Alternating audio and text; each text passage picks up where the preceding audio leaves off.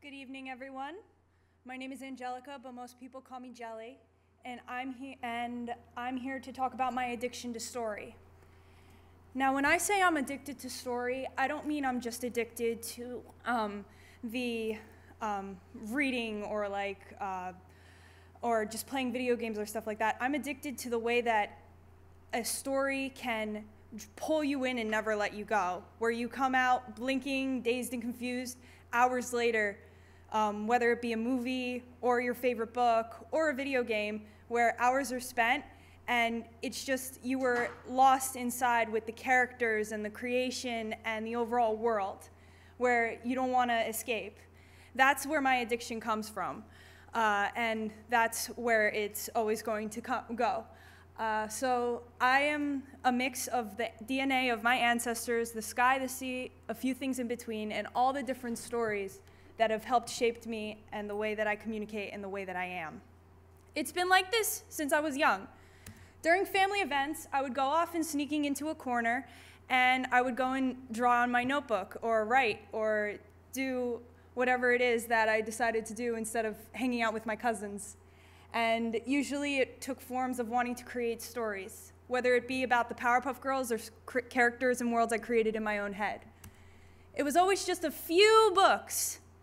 And it was always, uh, I would always bring an extra book just in case I was finishing another book just a few chapters away. And it's still the same way today just a few books, just a few books to add to my suitcase overseas, just a few books so I can go uh, on the train ride to New York City. And I'm still enraptured with stories today and love to immerse myself in all forms of media, including Toy Story. Stories are not just an escape from the good times. They're also a way to help me, and I know others, cope with things that are going on in reality that they would love to escape from. Uh, I've been in a lot of dark places, as we all have been, and I um, was in uh, was losing ground and losing focus. I was becoming untethered from my reality. When I was a senior in high school, my parents divorced. I moved back to my hometown where I really didn't keep connections with a lot of my old peers, and I was recovering from an autoimmune deficiency. So I was really feeling lost and unsure, especially with college coming.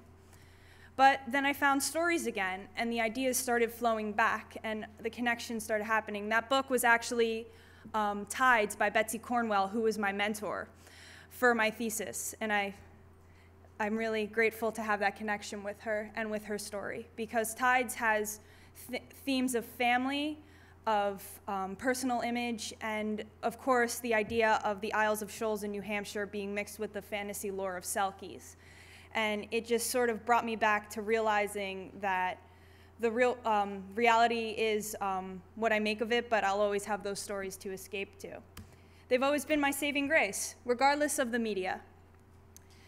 And that's what I wanted to capture in my thesis when Thavma came for Nyx. It is an illustrated novel. Um, where it tells the story of Nyx, a young woman who, uh, with her grandfather, created the series Potential Energy when she was when she was sick and in the hospital. They created a world together where Nyx could escape to and find solace in. They created the world of Thavma, where um, where the skies and the seas meet in between, where the stars fall down to kiss the seas and the seas rise up in order to embrace the skies. Uh, with space pirates and astro mermaids that turn into black holes. Everything that Nyx could think of, they turned it into the potential energy saga, which became a worldwide phenomenon in my book series in, in my book and it became this huge fandom that everybody loved and cherished together um, but around the fourth book elias shut nyx out of creating the stories and she didn't know why and before they could reconcile any hurt feelings, he passed away, leaving her the final manuscript of the final book, The Searching Soul, without so much as an I'm sorry wedged between the pages, which she wouldn't even know if she opened it because she refused to. She would rather have let it rot. Nyx had a lot of pent up emotions. She felt like um, her best friend, her, her confidant, the person that she created a world with, completely disregarded her and her place in it, and she felt exiled. So of course, she didn't want anything to do with it anymore. She cut herself out from a lot of friends besides her best friend Basil. Um, but what she didn't know was that Elias was protecting her. As it turns out, because of the love of Thavma, it started to seep through the cracks of reality, little by little, bit by bit. So Elias thought by shutting Nyx out of the stories, he would be able to save her because Thavma was coming for him to finish the story.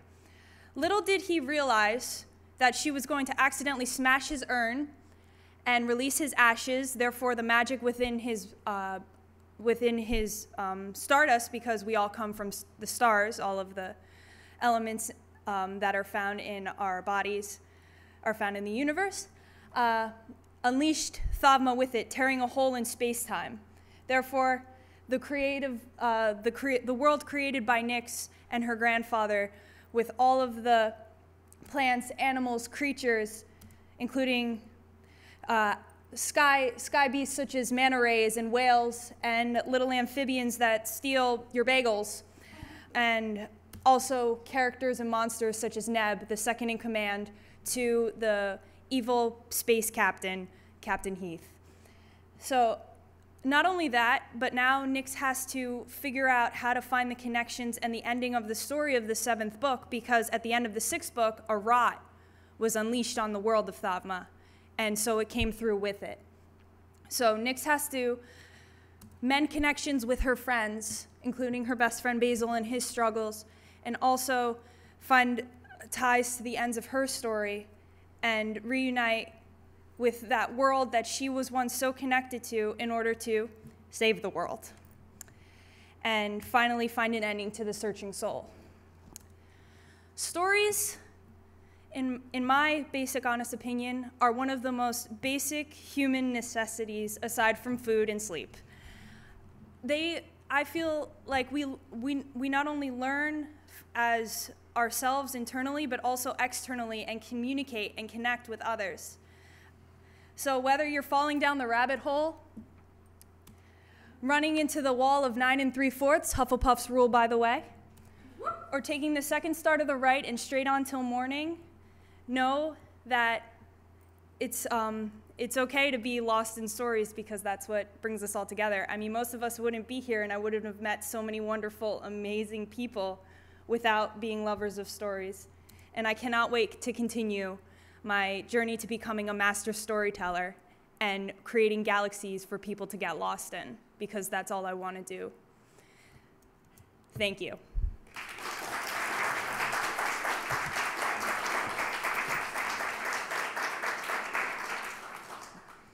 Questions? Uh, why did you choose to write an illustrated novel? So the main I, idea that I had be- behind writing an illustrated novel was the fact that the illustrations were taking over the images and the images were taking over the illustrations on most of my pages, including the curse, the rot, in the ending pages as you go through it. So I thought that that would be the best way to describe this story and to create this story. Um, and uh, I felt like it was the best way to tell Nyx story at this point. Yes, Ben? Uh, how did you work with your mentor to the hero? Is that hard to do? Uh, working with Betsy, um, when she agreed to be my mentor, I almost broke down crying in a family, uh, a family store. So it was fine to cry there, but at the same time, it was just great.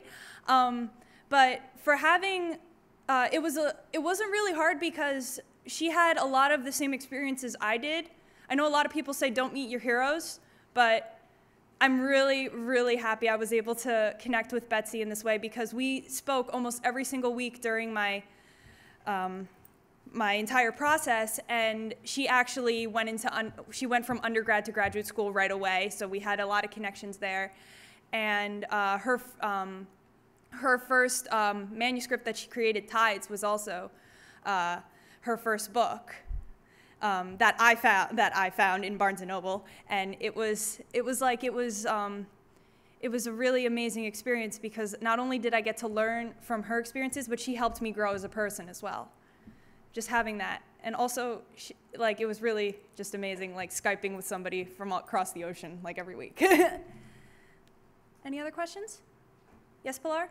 I don't know, I just didn't want this going by without just saying, wow, like, it's just your colors are so vibrant and I've seen you working on this and wow. And I'm just coming from a visual standpoint because I haven't read your story yet, which I will ASAP.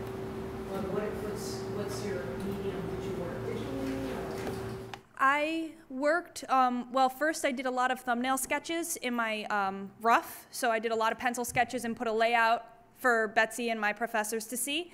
And uh, they gave me feedback, and then I started working digitally. And then from there, I just kept working digitally. And I was so thankful for going that route because with each mock up I made and each redo I did, I, I made I, I did three different layouts and I added more illustrations as I went, uh, given the critique I was given. And being able to see myself grow in my style, and I used my iPad at that point because it was wonderful. Procreate is a magical, magical thing. And uh, being able to see myself grow that way, it was really amazing. Thank you.